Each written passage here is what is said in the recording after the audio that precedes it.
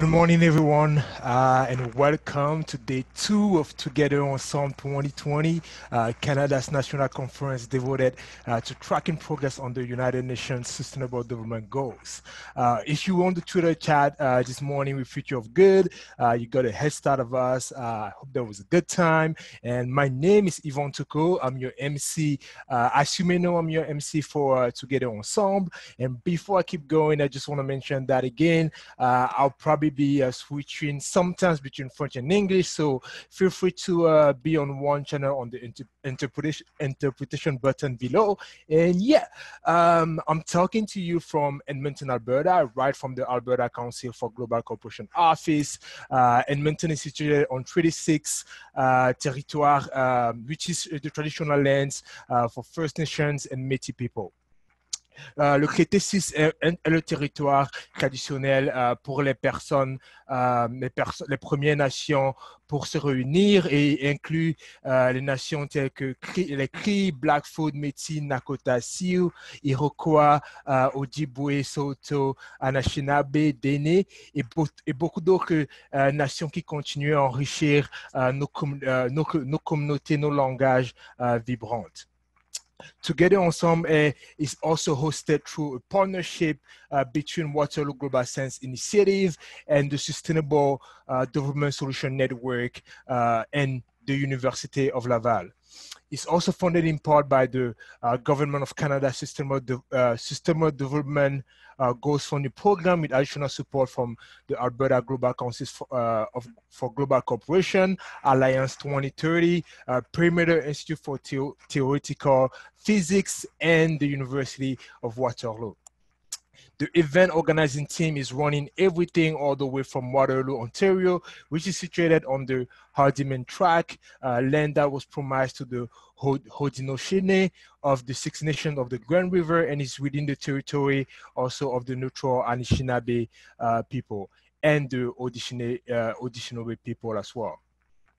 Yesterday, uh, as we got started, we shared this slide uh, about native, native dash land, a project that helps Canadians learn more about indigenous people around the, the world. Here it is again. Uh, be sure to check it out. It's a good resource to just kind of like learn uh, where where you situated, where your feet are rested, where your feet are planted. Yesterday's sessions left us with a lot to think about overnight, and this morning's Twitter chat focused on Canada's global responsibilities.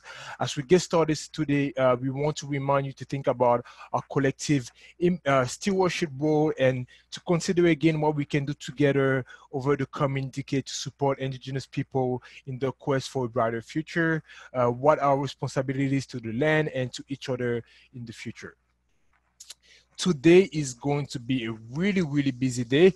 Uh, there are going to be six sessions during uh, each of the breakout programming blocks. Uh, if there's any way that we can help you have a positive experience and a positive and engaging experience throughout the day, please reach out to the live chat or feel free to contact the uh, event organizer team at info.togetherensemble.com. Euh, mon rôle avec euh, durant toute la conférence, euh, toutes ces conférences virtuelles, c'est vraiment de vous guider et de, donner un peu de faire un peu du, ménage et de s'assurer que tout le monde respecte justement les règles, les dialogues qui ont été établis par l'équipe de Together Ensemble et par la conférence. Okay, so first off, uh, we may face some interesting challenge keeping everyone connected today. So it's not uncommon. If you were here yesterday, uh, it's not uncommon to have unstable Wi-Fi, whether it's that's for you or that's for some of our panelists or our moderators. Uh, and so we can predict what's going to happen when we when we convene people across six time zones. Uh, so we ask that you be patient with us. We'll try to solve all these problems as as fast as possible. Uh, I'm going to walk you through a couple of housekeeping items uh, with our Zoom conference. Uh, so currently you're mute. Uh, for today's plenary and breakouts, uh, you'll also be on, on mute, but you have access to the uh, Q&A and the live chat below. so we ask that you use we, we ask that you use those tools to communicate with us. Organizers uh, can be identified by the word organizers uh, right in front of the Zoom uh, Zoom name. Uh, we, we ask that you also use your real name and not a nickname for the Zoom chats. Uh, we've all used Zoom over these past months to chat with friends or anything of the sort. So make sure it's your real name. Uh, that will just help us out and the panelists a lot. Um, Together has a code of conduct, uh, which we've just linked to uh, in the chat. Uh, so if you're experiencing if if you're experiencing an issue or notice that someone else is being harassed or have any other concern at all, please contact a member of the Together Ensemble organizing team immediately. Again, organizers can be reached uh, via email at info.together at gmail, uh, together ensemble at gmail.com. Uh, please make sure that the subject line is urgent code of conduct so we can get back to those emails as soon as possible. We really, really, um, really, really want to put an emphasis on uh, safety and uh, inclusivity throughout the conference. Uh, si vous êtes victime de har harcèlement, remarquez que quelqu'un d'autre euh, est harcelé ou avait, avait d'autres problèmes ou préoccupations, euh, veuillez contacter l'équipe euh, de Together ensemble à, à, partir de vos points together ensemble à gmail.com. Les organisateurs peuvent être également contactés à travers le chat, le live chat. Et euh, quand vous les contactez par email, assurez-vous euh, de mettre urgent code de conduite euh, pour que l'on puisse vraiment retourner et répondre à ces emails le plus vite possible. Uh, there's an alternate audio track uh, where you can access an interpret version of the main language in each session. So most of the content will be available in French and English. So if uh, you, some uh, panelists might be bilingual and might be switching between French and English. So feel free to stick to one channel so you can just follow through uh, with that language throughout the whole session. Or you know go go at it you know flex your bilingualism and uh, try to uh, do it both in, both in english and french. Uh, there are rapporteurs in each session uh, the job is to document insights and reflect them back to you in the plenary sessions. Uh, the notes will be compiled after the uh, after the event and released as a report as well. You may have met Jacob Berkowitz yesterday and his rapporteur, his amazing rapporteur team yesterday. Uh, stick around for plenary and you'll be caught up on what everyone else was doing in the in alternate sessions. Uh, we've also made a few a, a, few uh, a few changes to make things easier.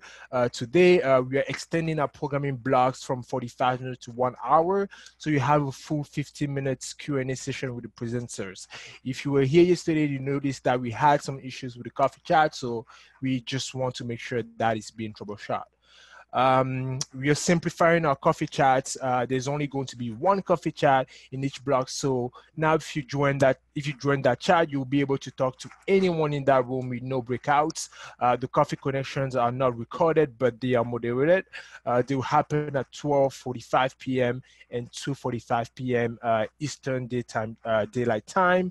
Uh, coffee chats are overlapped with the last 50 minutes of Q&A of the previous programming blog. So just keep that just keep that in mind. Uh, again, those coffee chats are going to uh, going to be a great way to just kind of like connect with everyone that is uh, attending the conference. And yeah, uh, you have, uh, as you know, you have a lot of choice of programming today. Uh, again, don't worry about missing out. You'll be able to catch up on all of these things, uh, whether that's through uh, Jacob Berkowitz and his team of rapporteur or through uh, the daily digest that will be coming at the end of uh, every day.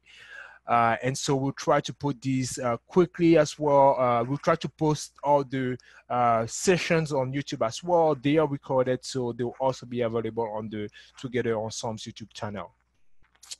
Our goal is to make uh, the programming easy for you uh, to access. So all the links are in the schedule. You can move from room to room during each uh, programming block. Uh, I've done that before and you know, the first time I tried to do that, I noticed that it was like you're going to get, uh, you're going to exit this room. So don't be scared by that message. You have indeed to exit one room to be able to like get into another one. Uh, and again, we asked everyone that you please don't share the link with everyone. Uh, anyone that has registered to the conference has access to the same link through Eventbrite and through the schedule as well. Um, if something goes wrong during one of the sessions, uh, the presenter's connection drops out or the connection is really bad, we'll try to arrange a follow-up recording and make the session available as soon as uh, right after the event. If we can solve the problem quickly uh, right on the spot, we direct you to another session and uh, most problems can be solved by leaving the Zoom session and coming back in. Uh, there's always there's room for everyone. We really want to stress us out, so uh, don't worry about taking up space as say. Uh, the spirit of Together Ensemble is one of cooperation and mutual respect. Uh, the commitment to leave no one behind uh, has been described by UN Deputy Secretary General Jan Eliasson as the underlying moral code for the uh, for Agenda 2030. Uh, so we're striving uh, to make that this model a foundational part of this event. And so we know that our approach is not perfect, that there's always going to be room, room for improve, improvement. So do not hesitate to reach out uh, with suggestions or guidance or anything that you notice that you think can be uh, made better over the uh, future years uh, when we can hopefully actually all meet together again in person maybe we'll have another virtual conference as well. That I think that'll be really fun. Uh, so as you engage, uh, last but not least, as you engage in uh, conversations, please remember that we all come from uh, different regions of Canada. Uh, we have uh, different religions, different ethnic backgrounds, and speak different languages as our mother tongue. Sometimes a misunderstanding just really happens because of of another points of, of the misunderstanding between people happen because of the misunderstanding or another points of view. Uh, so I always ask for clarification first. Um, it's always important. Uh, we always ask to people to be tough on issues uh, and be soft on people. Again, uh, I think I said this over and over yesterday. Uh, we are all in quarantine. We are all in isolation. Uh, it's, it's already uh, it's already really hard as is. So make sure you're kind to each other. We don't know. We don't. Some of us don't know each other. Some of us uh, live across different time zones. So you know it's important to be here, make friends, make connections that hopefully you can actually foster after the conference, after this pandemic is over. So uh, what do we want to achieve together today? Uh, we hope you make an interesting uh, connection and consider a commitment that can help us help us towards uh, move to move the ball towards Ad Agenda 2030. Uh, we also hope that you will share with us uh, what is working in your sector, in your community, and across your region. Uh, we want to learn from each other and find different ways to connect our work.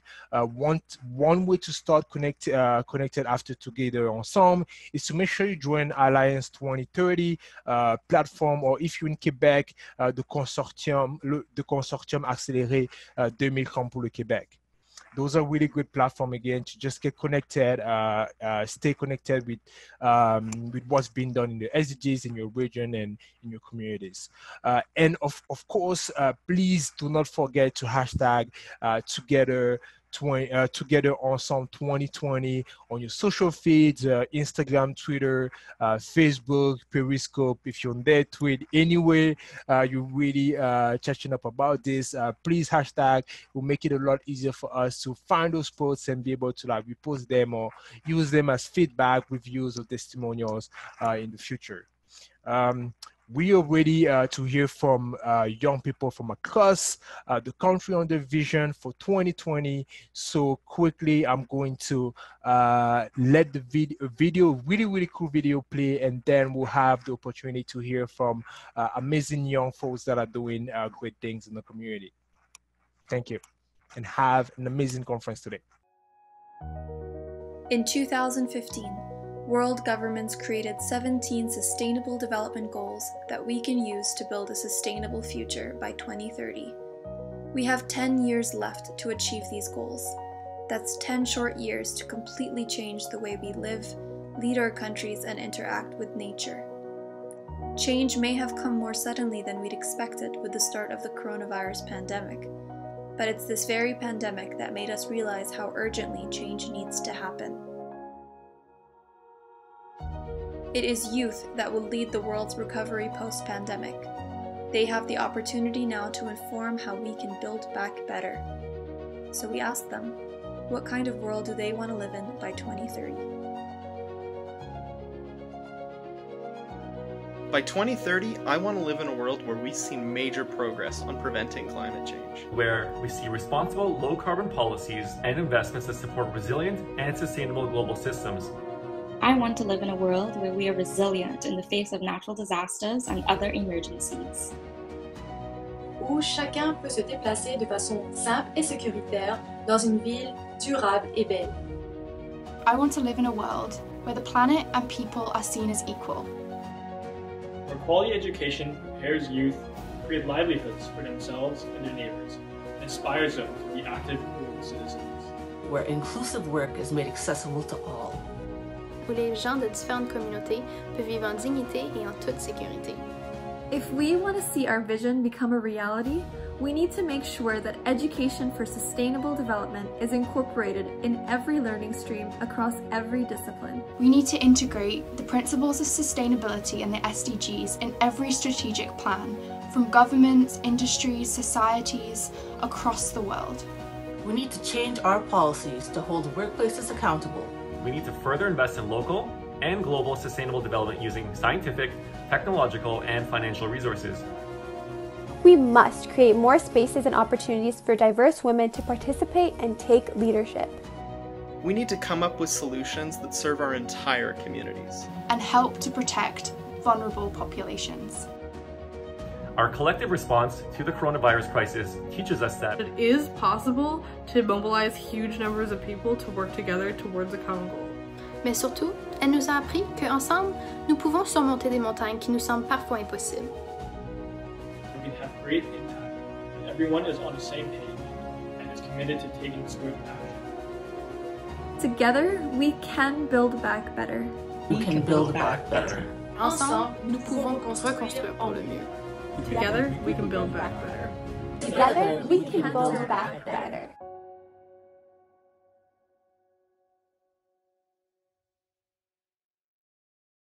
What a great way to kick off day two. Young people have been active architects of the 2030 Agenda and its development and continue to engage in frameworks, processes that support the implementation, follow up, and review. The active engagement of youth in sustainable development efforts is central to achieving sustainable, inclusive, and sustainable and stable societies. With just 10 years left to go, an ambitious global effort is required to deliver the 2030 promise. The Decade of Action calls for accelerating sustainable solutions to all the world's biggest challenges, ranging from poverty, gender, health, to climate change, and closing the financing gap. This morning, we will hear from youth from coast to coast to coast who will share their stories, their challenges, and commitment to the Agenda 2030. My name is Laveza Khan, and I'm delighted to welcome you to this morning's panel, Our Future, Our Time. I'm joined by Sherif Goubran, Maxime Lakat, Lindsey Bacigal, and Danielle Hartung. The global goals are our best hope for the people, for planet, for prosperity, and for, for peace and for partnership. At this time, I'd like to invite our panelists to introduce themselves. Hello, I'm Sherif Goubran. I'm a PhD candidate uh, at Concordia's Individualized Program, where I'm conducting interdisciplinary research on the intersection between uh, green building practices and sustainable development. I'm specifically using the SDGs as a framework for understanding and analyzing how buildings can contribute more meaningfully uh, for our quest to sustainable development. Hi, everyone. Uh, so my name is Maxime Lakat. I'm the founder and chair of the Canadian Business Youth Council for Sustainable Development. Uh, this youth council was basically formed to unite uh, Canadian undergraduate student organizations across Canada's business schools to really unite the movement uh, in order to grow it, uh, but also share best practices and, and disseminate essential knowledge on this topic. And finally, our mission uh, as the Youth Council is to represent uh, the youth of business by advocating as a whole so that our voice can be that much louder when we're asking our universities, our governments, and our businesses to do more about sustainable business. Chukma Sahochufua Lindsey Bacigal Chikashasea. My name's Lindsey Bacigal, and I am the Communications Director at Indigenous Climate Action. I'm based here in unceded, unsurrendered Algonquin Anishinaabe territory, uh, and I'm a Chickasaw, Irish, and Polish, and very happy to be here today. Yakuke. Hi, everyone. It's great to be with you here today. Um, my name is Danielle Hartung, and I work as the Senior Projects Communications Specialist for Samaritan's Purse Canada, which uh, is an international disaster response and international development organization. Um, it's operating in over 30 countries worldwide, and our Canadian office is based here in Calgary, where I live and work. Um, my background is in government and public policy, and now these last few years, as I've transitioned into the humanitarian sector, I've um, had the opportunity and the privilege to get a front row seat to some um, of the incredible work and collaboration that is going on um, to achieve the Sustainable Development Goals. So really looking forward to this conversation today. Great, thank you. Um, it's really exciting to have such a broad range of uh, backgrounds that you all represent, and I'm excited for the conversation that we're about to dive into. So I'd like to start off with um, each one of you have spoken to some of the work that you're doing, but how are the SDGs being used in your field of work, ranging from business, activism, research, and administration? I'll let Sherif take the, take the floor. Okay. Um, so thank you. Um, I think um, based on my work uh, with with the agenda and with the SDGs, I can um, identify three main approaches on how the the agenda is being used in research. We're still seeing a lot of uh, studies that are trying to investigate the agenda itself, how the goals interact, the, inter the trade-offs, the synergies between them. Uh, so for example, uh, maybe working on uh, SDG uh, 6 related to water can help um, tackle some issues around health and so on. But at the same time, if we focus on economic development, we might be putting other goals at risk related to climate action or, or so on. And we're seeing that kind of research on, on on um, on two levels. There's uh, the global uh, view or the broad uh, view of the agenda, but there's also um, uh, research that's focused on uh, like specific geographies, how these interactions happen in specific countries or regions, as well as within specific sectors. So like how does energy interact with the other goals and so on.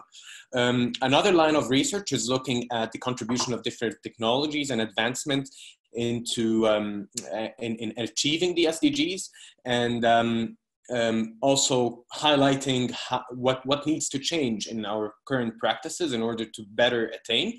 And um, uh, a lot of these studies are usually uh, evidence-based or, or, or, or experiential or, or uh, case-based.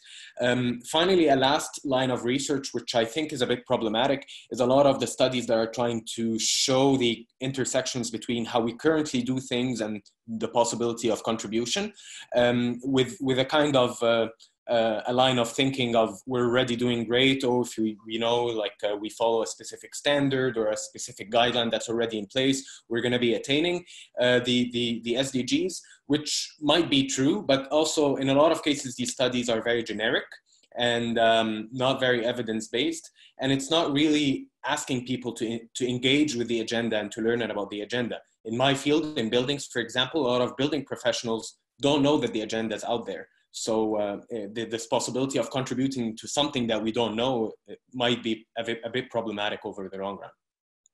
Maxime, feel free to jump in. Great, uh, thanks.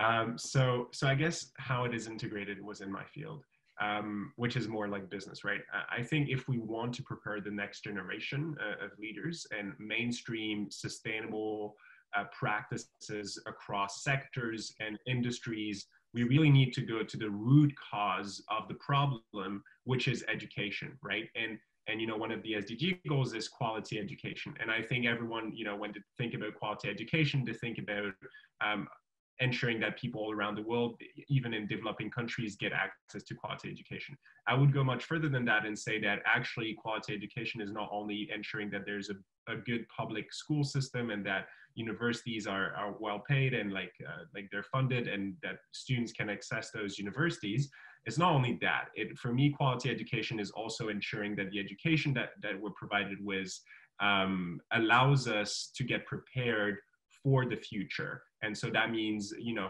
getting that education about sustainability uh, the, the thing is that if we want to change education, which is still far from where we should be in terms of teaching sustainability, we need to include youth um, in you know, this change by truly sharing power with youth. Um, and you know, often youth is like being tokenized by you know institutions. We're being consulted about how to do something, but you know institutions don't really like to share power with with youth oftentimes and so i think you know to change education we need to truly share power um, um, when uh, when it's needed. And you know, as uh, Beth Eden, who's the national leader for SDSN Youth Canada, uh, said in another panel, uh, youth needs to be incorporated into the decision-making process uh, and plans in governments, businesses, but also universities to ensure that the SDGs are going to be accounted for. And so the 2030 agenda is about, you know, intergenerational equity, valuing the present and the future generations. And to do so, youth must be at the table to achieve that goal. Um, yeah, well, in working in the humanitarian field, I think the SDGs are incredibly relevant and are really embedded into the fabric of the work that we're doing in the sector. Um, so the organization um, that I'm a part of and, and others in this field are um, obviously actively pursuing work that contributes to numerous targets that are set out in the Sustainable Development Goals. Um, sustainable jobs and poverty, access to quality education, which Maxime just mentioned, gender equality, clean accessible water. Um, and really, I think that there is a blueprint that the SDGs um, have created for us, which is um, really a, blue, a blueprint for the International Development Project's future. Um, I think they also just provide a language with which to enable strategy and learning and collaboration. Um, and these things are incredibly important when we're talking about complex issues like the ones that are outlined here, like systemic poverty or food insecurity. Um, and I, I, think that at the end of the day, um, they really help to foster collaboration and partnership, which really relates to the fact that when we speak to the SDGs in this field, it's incredibly important to recognize that the problems that each of these goals are addressing um, are not independent of one another. So when we're looking at solutions, we have to be able to address that and look at the interconnected nature of them. So solutions that are comprehensive and holistic, I know are, are, um, are what the field is looking at, at moving towards.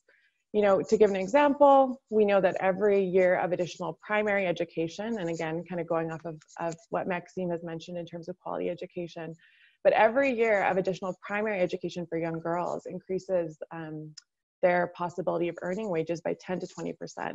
It encourages them, them to have fewer children and let, be less vulnerable to violence. So access to quality education is deeply connected to gender equality. And of course, access to education has a lot of issues and connections to access to sustainable and safe water sources. So you see how all of these different pieces play out together and are connected. So the SDGs, I think, enable these type of conversations to just create strategy and implement these kind of holistic and multi-sectoral approaches.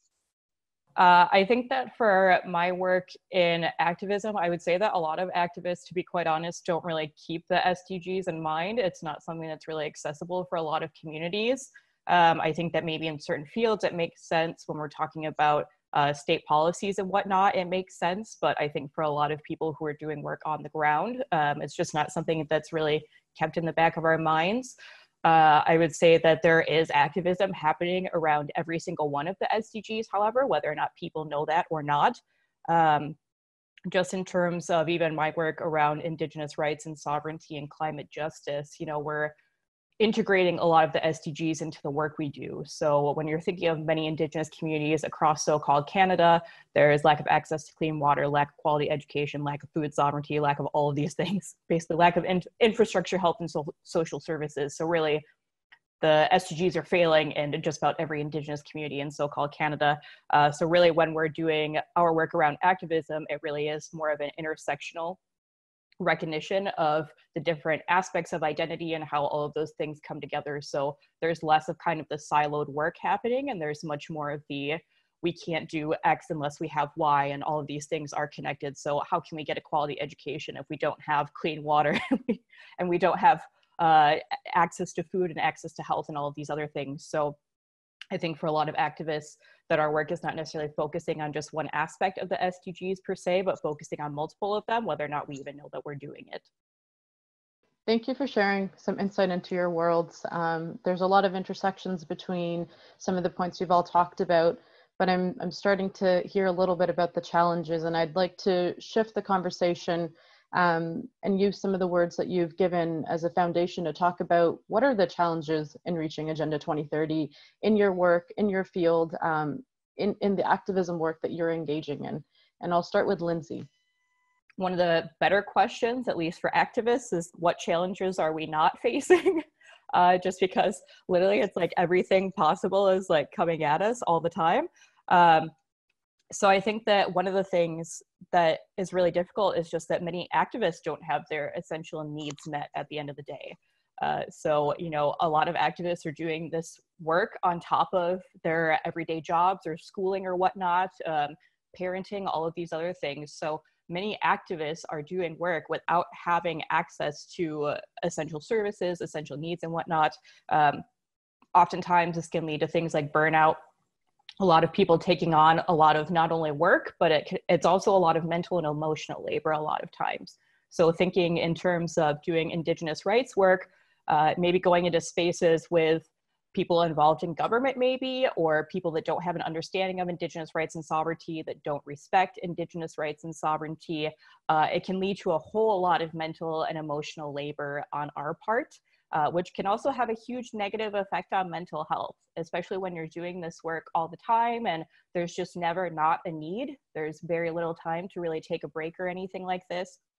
Even thinking of the, the COVID pandemic, um, you know, we're doing this work on an everyday basis, and then COVID added this whole other layer to work and having to really shift and refocus things um, as to how to keep moving forward with the work that we're doing on top of making sure that our community members have access to things like uh, you know health services and protective equipment during the pandemic. So it's hard to really separate eh, like the activist life outside of the rest of our lives. You know it really is very intersectional.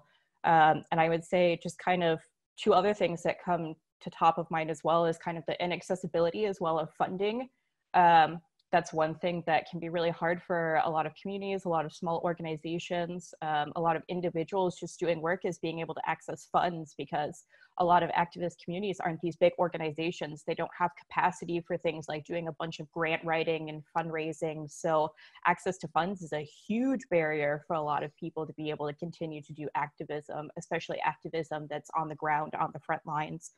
Um, and so with all of these different things, it leads to a lot of limited capacity, which means that folks are often forced to kind of choose what are the top priorities. So even though recognizing the intersectional nature of identity, folks are still kind of forced to say like, what is our top priority right now? You know, are we going to fight for clean water? Are we going to fight for food sovereignty? Because we can't do all the things at once. We only have so much capacity. So it does really kind of create this situation in which you really can't win it, win at the end of the day. So really are kind of forced to you know choose what ends up being our priorities. So really i think for for folks in the activist community the better question really is what challenges aren't we facing? Because there's just it's so many insurmountable challenges it seems at times. Um, right. So one of the challenges for for for Mayfield, which is like more business shifting education uh, in the business world about about sustainability. Um, one challenge is is is definitely um, thinking about whether we're gonna be transformational enough, right? And and and thinking if all this is is all the necessary change and if it's ambitious enough. And you know, if you look at everything that has been going on in the past two years, and you don't need to be a sustainability expert or even someone interested in sustainability to recognize that sustainability, first of all, is crucial and second of all, it has a lot of opportunities, right? If you look at what happened over the news over the past two years, you know, not only Greta Thunberg, but the fires in Australia, in the Amazon, uh, then you have the renewable prices that are just going down and down. They've actually at one point went under oil prices. Like there are lots of opportunities, and there are uh, lots of also uh, recognition of like how crucial it is. So we need to be more transformational um, in terms of our ambitions than just saying, okay, sustainability is important and it has opportunities.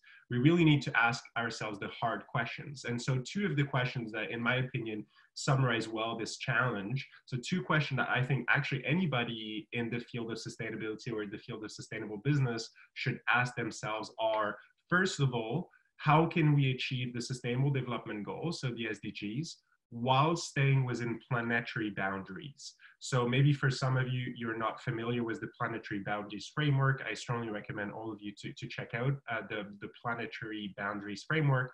It kind of po poses the limits of what our planet can take in, right? Uh, and we've actually reached some of the limits already. Uh, so I want to say, you know, in the conversation about SDGs, it's great to talk about SDGs, right? But the recent research shows that we could go down a very dangerous path if we simply talk about SDGs without considering the planetary boundaries. Um, and, and, why that? Because we could like make some progress about SDGs and try to tackle more and more SDGs without respecting the planetary boundaries. And so that would result in, you know, making a bit of progress on SDGs, but at the very end, we would worsen the situation because we're not respecting the planetary boundaries. So, and, and right now, to be honest, most of the projections show that SDGs right now, like our work towards SDGs, is not at all taking into consideration the planetary boundaries framework. And I think that's very dangerous. So the first question is really asking ourselves, are we talking about SDGs the right way? And are we, you know, putting this in the right framework in terms of planetary boundaries? Uh, so that's the first really important question that anyone should ask themselves. The second one to really make sure that we're transformational enough is asking ourselves whether our current goals and ambitions are transformational enough. And so one of our goals is carbon neutrality, right? And, and zero waste, carbon neutrality, zero waste. The government has recently made lots of announcements regarding those two things. And although a lot of people see those two goals as extraordinary, I would actually argue that they're not going to save us because they're not transformational enough. They're necessary steps. So we need to achieve carbon neutrality and go more towards a zero waste uh, society. Um, but I, I don't think they're enough. Why that? A very easy way, you know, to realize that is by looking at the Earth overshoot day. The Earth overshoot day is the date by which we have consumed so much resources that the planet cannot, you know, regenerate. So it's really this point in the year.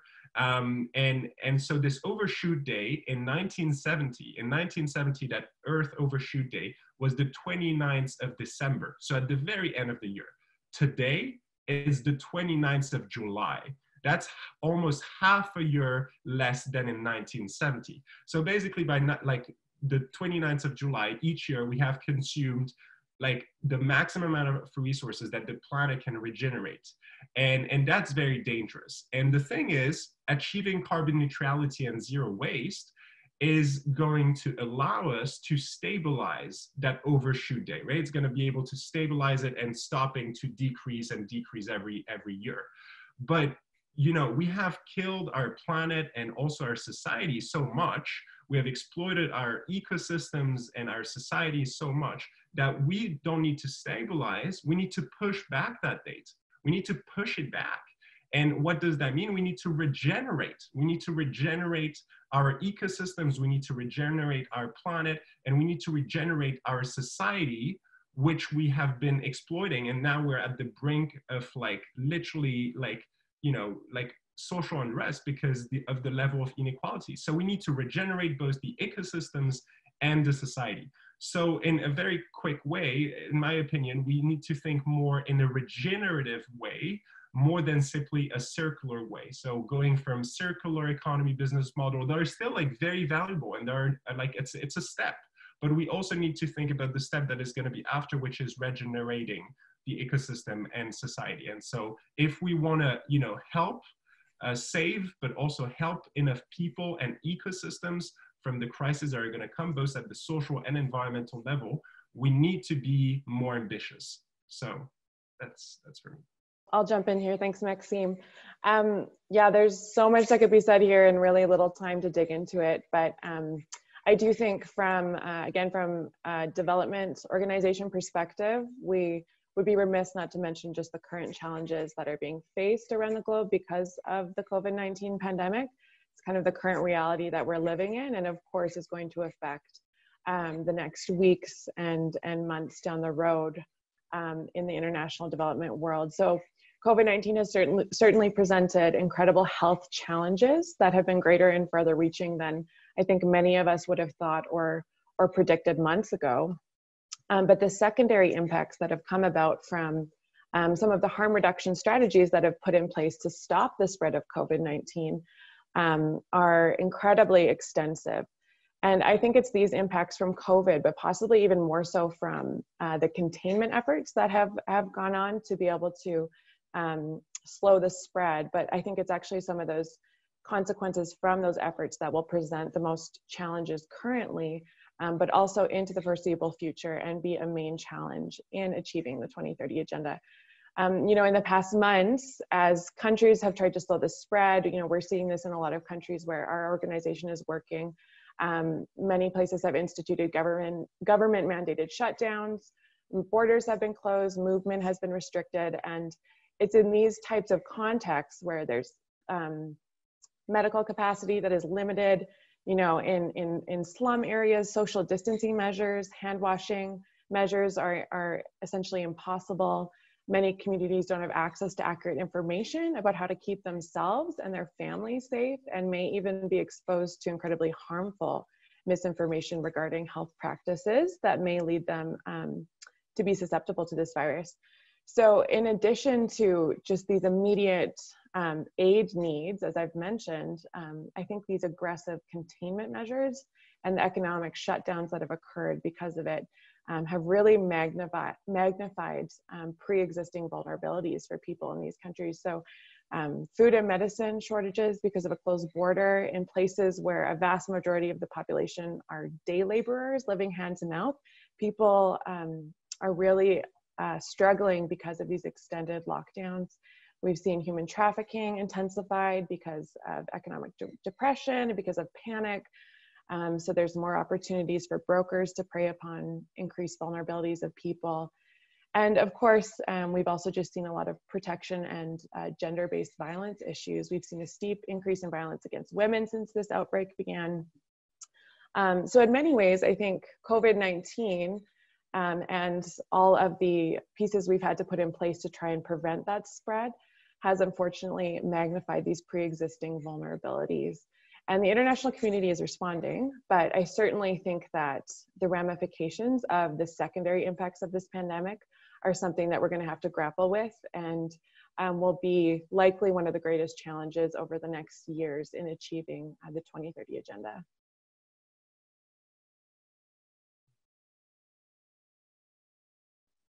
Uh, so um, yeah, so in, in my line of work uh, in, in research, um, I think there's um, uh, there's a few challenges that that uh, that that I see. Um, I think one of the main ones is kind of this uh, shift of um, focus that uh, Maxime and Danielle both uh, mentioned. This idea of moving from um, incremental change to transformational change and what type of work and research uh, that needs to happen to do that. Um, so I think the biggest challenge, as I highlighted in, in, the answer for my first question, or one of the first challenges, is kind of this uh, sustainable development washing, a type of greenwashing, where we're labeling all these incremental improvements as transformational when they're not. Uh, so that's one thing, and that needs to shift in the research. Um, the second, uh, I think, is is what I what we can call externalization. So, uh, still today, a lot of you talk to a lot of researchers, and they feel that this uh, this topic of sustainability or sustainable development is this niche that's separate, that has its own uh, people working on that's maybe more political more more global. Um, and the first and they always ask like what does the sdgs or sustainable development have to do with my work or my topic? Even if they're working on something like uh, solar energy or well-being or automation but they they feel like it's a different niche that it, it's not really their field to work in. And i think here we really need to work on trying to foster this um, um, um, kind of uh, culture of how can we relate how can we make our work relate and how, how to think of how to make it fit as opposed to how does it not relate it's very easy to make it not relate. It's it's kind of a bigger challenge to try to uh, to make it fit within the framework and to and to think of its broader implications. Um, the last challenge, which I can maybe highlight a bit, is what I what, what we can think of as generalization. And in this generalization, we're generalizing both benefits overlaps. So this is kind of the opposite of the externalization where you, you, you see some researchers saying, you know, like I'm working on this topic and this is going to help us attain all the 17 goals. Well, you know, like we need to be a little bit more critical than that uh, to, to think of which challenges we're really tackling and, and how we're doing that. But also there is generalization in terms of criticism. And this is also uh, something that I think we need to, to remedy or to work on. So we, you know, like you, a lot of researchers, a lot of people are saying, you know, like the, the framework is, is too generic, it's too uh, global, it's not, uh, uh, it's missing that portion or this portion. And yes, for sure, the, the framework is not perfect. Uh, it's it's not meant to be perfect, but it's it's just a framework for us to think to think through. Criticism and and and uh, constructive criticism in that sense is positive, but it shouldn't. Uh, just because it's missing one portion doesn't mean that we should discredit the whole uh, of the agenda or so. So, um, uh, and of course, on the on the side of the over uh, like um, exaggerating or generalizing these overlaps, we can also uh, like foster this understanding of the complexity of these issues and their interrelation um, in order to avoid oversimplifying them in, in that sense. So uh, that that would be maybe the the three or uh, challenges that I see. Great, thank you for um, for providing some insight. When it comes to challenges, it's it's very evident that there's an abundance of them. Um, many of them are cross-cutting across the work that you four are doing um, ranging from access to resources that make it very difficult to work, particularly on the ground, um, working within our boundaries and, and respecting some of those boundaries that are set um, and ensuring that we're working within those means. Um, responding to the impacts of COVID-19, I think that has been um, very evident um, for the development sector, but also across all industries and sectors, um, understanding what it means to work within this uh, pandemic, but what is next and, and what are the impacts of, of the of the reality that we're living in. Um, and then a, point that Sherif and, and Maxime made around uh, the need to be more transformational. Um, while this agenda lays out a blueprint and uh, provides a vision for the future, uh, we need to be ambitious in the way that we approach it and the way that we embed it in the work that we're doing. So I thank you for sharing your challenges, um, and I hope that we're able to work together and, and use um, use resources that we have and, and also learn from one another uh, to overcome these challenges moving forward. So I'd just like to, to shift a little and, um, you know, we've talked about the, the worlds that you're coming from and how the SDGs are embedded within them, the challenges um, that you're faced with and the work that you're doing uh, the very important work that you're doing in ensuring that we we do achieve Agenda 2030. Um, as young people working on the ground in in very varying backgrounds and uh, and realities, what's one way that you believe youth can work towards a better future in 2030? And I'll start with you, Lindsey. I have more than one way. I have like multiple ways, I suppose. Um, I think there there are a couple of main things. Um, also, just this this kind of also addresses a question that was asked in the chat about around whether or not um, the most impacted communities in so-called Canada will be able to meet the SDGs. And short answer is I don't think so. No, I don't believe so. Not at the current rate. Um, just thinking of indigenous communities in general lack of drinking water. There are boil water advisories across the country. Um, grassy narrows is still uh, facing mercury poisoning. There are issues of sovereignty and land rights across the country as well. Um, so i think one of the biggest things is that youth need to act as co-conspirators with one another. Um, beyond allyship the word ally is used a lot. Um, but i prefer the word co-conspirator uh, and actively dismantling systems of oppression and capitalism as well. Um, I think if we want to meet the SDGs, there's no possible way that we can meet SDGs while living under capitalist and colonialist governments. Um, I don't believe that it's possible to be quite frank. Capitalism is a system that's built upon privilege and power. And I don't think that there's any possible way that we can create societies that are in any sort of way just while living under those systems. Um, for youth that have privilege um, in terms of things like white privilege and whatnot, um, one thing that is talked about a lot in the activist community is any actions that are arrestable. Um, we tend to try and see if co-conspirators that are white will be the ones that put themselves forward for something like arrest, um, recognizing that folks that are white tend to face less uh, obstacles when it comes to police and there tends to be less violence directed at them. Um, so I think that a lot of ways that youth can be involved in activism is thinking more along how they can use their not only their privileges but also just the skills that they have um, I think within activism, there's oftentimes a lot of pressure of going to like the the 100 level, uh, like I have to go out and I have to, you know, get arrested and all these different things and do protests and interruptions. But I think a lot of it is also recognizing that we all have different skills. Um, so how can we use those skills for for the movement? I suppose. Um, and finally, just being willing to learn and grow. Um, a lot of conversations that happen within activist communities can be very difficult.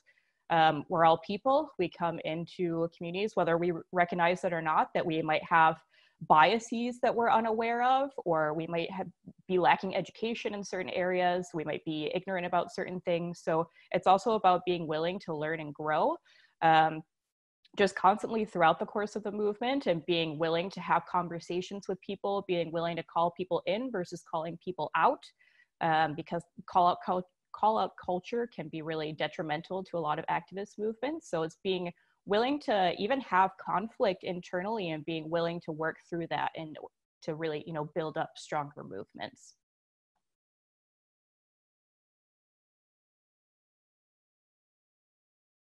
Maxime, I'll have you go next.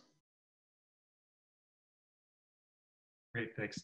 Uh, thank you, to, thank you, Lindsey, for for these uh, for these insights. Um, I, will go uh, answering that question. I, I just wanted to uh, reflect very quickly on what you just said, and and I just like I, I agreed on everything. There's just one thing where I kind of disagree, and I think we can maybe find a common point. It's just like a reflection, right? And and maybe a discussion for then like the attendees to think about uh, in the future. But you said uh, we cannot um, have a prosperous and, and, and just a better like society that we should all aiming at through a capitalist system. In my opinion, capitalism doesn't mean anything because you like the version of capitalism that you have in Sweden versus the one you have in Canada versus the one in America or France are very, very different. I think our current form of capitalism is absolutely a disaster and just cannot work.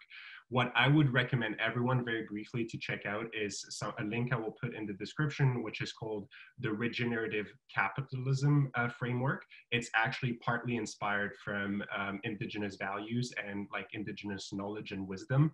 Uh, and these principles and this framework, which is very practical and like very like very much ingrained in reality proposes a new form of capitalism, which is, in my opinion, the most transformational framework that I've ever read. And it is probably very much in line with the type of society you want to achieve, uh, Lindsey, and that we all want to achieve.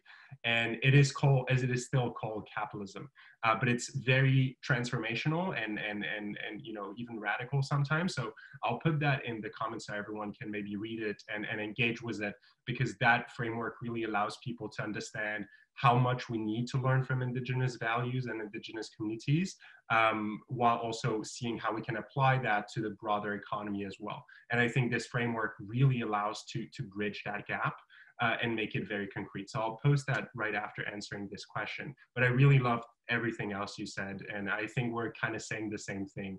Um, i'm just offering this framework that not that many people know uh, that kind of goes in line with what you're saying um, so now about what I think youth can do about achieving the SDGs, I think that youth, especially in business, because that's the field where I work in, uh, youth in business uh, needs to advocate for a much more ambitious plan uh, on sustainability than most business schools are actually considering to teach right now. We need to be much more ambitious in terms of the plan that we're asking for. And uh, one very concrete thing that you can do um, is uh, read the guide that I'm also going to post in the comment section to everyone. Uh, so this guide is uh, basically 20 statements on the state of sustainable business in Canada. Uh, this is basically the resource I wanted to share with, with everyone here. And it's basically, in my opinion, one of the best frameworks uh, about the necessary capitalist reformation. It talks about planetary boundaries. It talks about regenerative capitalism. It talks about sharing power with youth. It really talks about a lot of points that the different panelists brought up today. And this like framework, this guide, if youth were to follow it and ask businesses, governments, but also universities to follow it, uh, I think the, the, the change would be much more ambitious than than where we are heading uh, right now.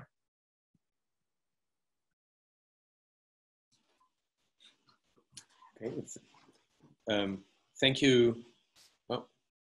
Uh, thank you everyone for sharing your, your thoughts. I think um, um, one maybe a key theme that uh, that's uh, very important here with the, what like what the youth can offer or how the youth can can help is really rethinking the existing systems, whatever those are. So whether it's the economic or financial system, whether it's the uh, system where we do research within, um, I think these are all uh, things that have to be rethought uh, in order to reflect kind of this interlinked and uh, complex uh, challenges that are highlighted in the uh, 2030 agenda.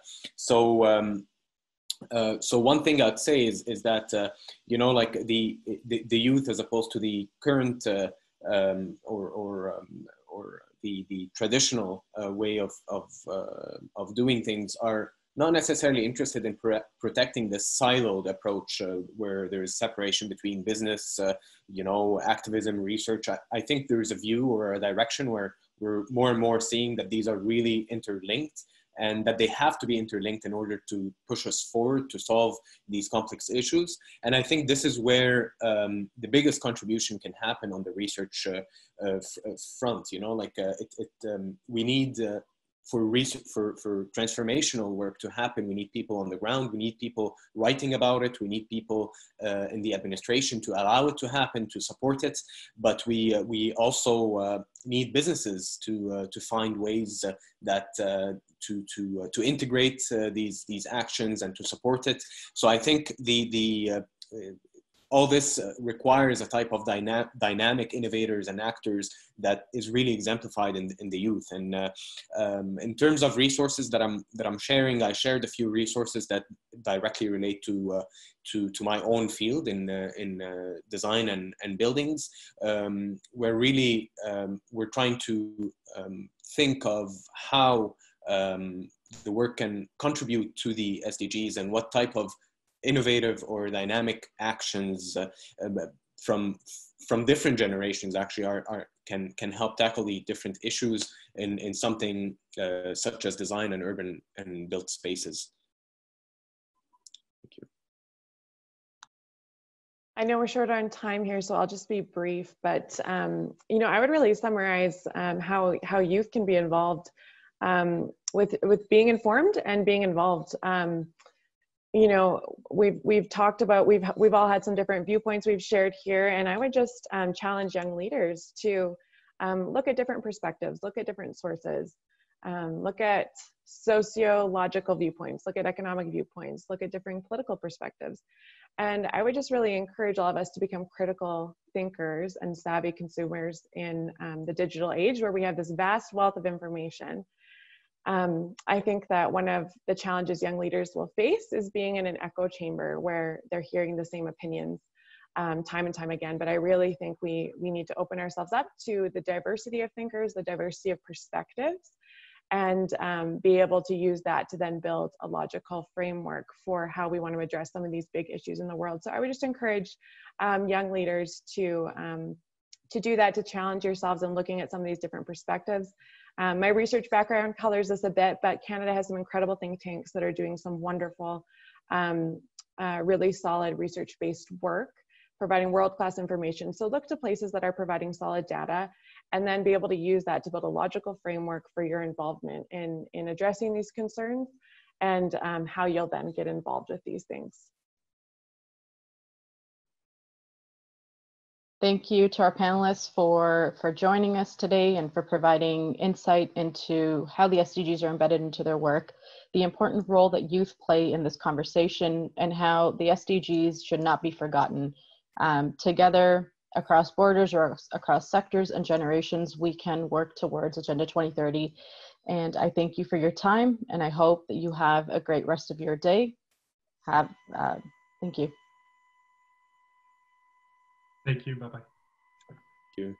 Thank you. Uh, thank you, everyone. Uh, that was uh, that was really really insightful. Thanks to uh, the uh, to, thanks to Laveza uh, for facilitating this, Maxime. Um, Lindsey, uh, Sherif, and the rest. Uh, just, that was really awesome. I think I want to say that I echo a lot of the sentiment that uh, Lindsey, Sherif, and uh, Danielle shared on uh, how to be aware of your how to be aware, how to be informed of your surrounding. It's really important to look at the systems that are already in place. And I think with everything that's happening right now uh, with COVID, we've noticed how inequalities and uh, can shift really fast because of some of the systems that we have in place. It's important to look at the system, see how we can either better rebuild them, but also have to uh, go back from the ground up. So yeah, that was really really exciting. And so we have a lot of uh, we're about to begin the next block of programming. There's a lot of uh, a uh, lot of things coming up. Uh, we have six different rooms that you can check. Uh, the conference schedule for the corresponding Zoom link uh, is at Together togetherensemble.ca. if you you have a chance to regroup in chat and chat about the session you were in during the coffee connections at 12:45, and or you can stay in these sessions for the full uh, after the 45 minutes to you know ask questions uh, keep talking with the speakers. Uh, also uh, an option at 1245 is solution spotlight highlighting uh, unesco by biosphere reserves. Uh, I'll check in with you all again at 1 p.m. Eastern Daylight Time uh, when you meet uh, again with the with Jacob, with Jake uh, Berkowitz, sorry, with Jake Teams and his amazing team of reporter. And yeah, so thanks a lot to everyone. Thanks a lot to the uh, youth panelists. That was really insightful. Those were really good conversation. And have a good rest of the day. And yeah, thank you all and see you soon.